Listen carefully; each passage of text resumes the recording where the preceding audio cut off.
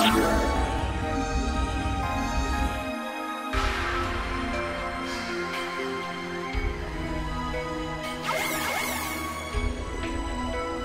しもしもし？聞こえていますか？ああ無事通じてるよう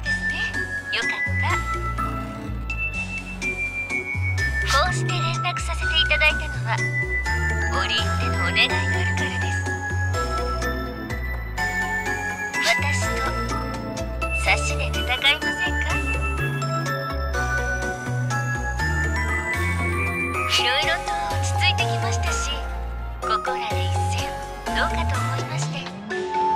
決闘の申し込みです。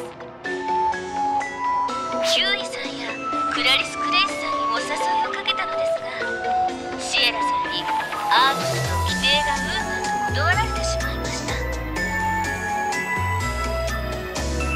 その点あなたはアークスの規定に縛られない存在なわけですから断りにくいかなと。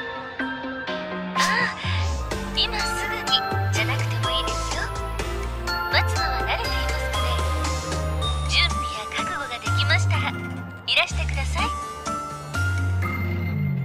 ハレグさん勧誘禁止。そういうのダメです。あら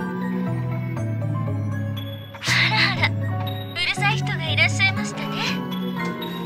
それでは楽しみにしていますよ。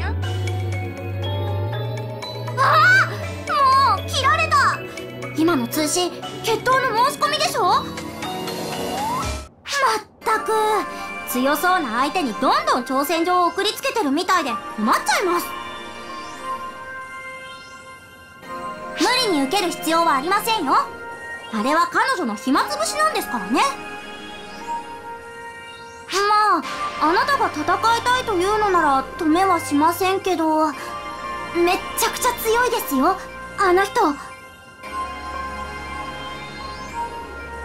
るつもりなら本当に気をつけてくださいね。